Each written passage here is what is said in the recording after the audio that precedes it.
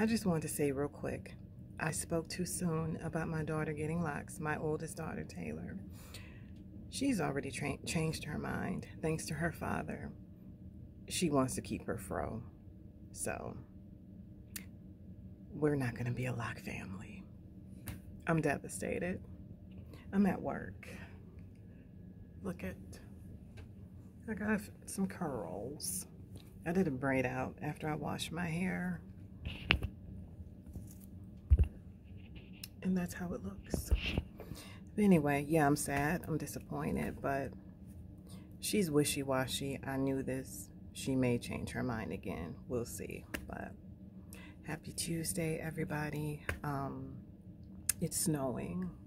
It's cold. It's November, so it's supposed to. Y'all have a good day. Bye-bye.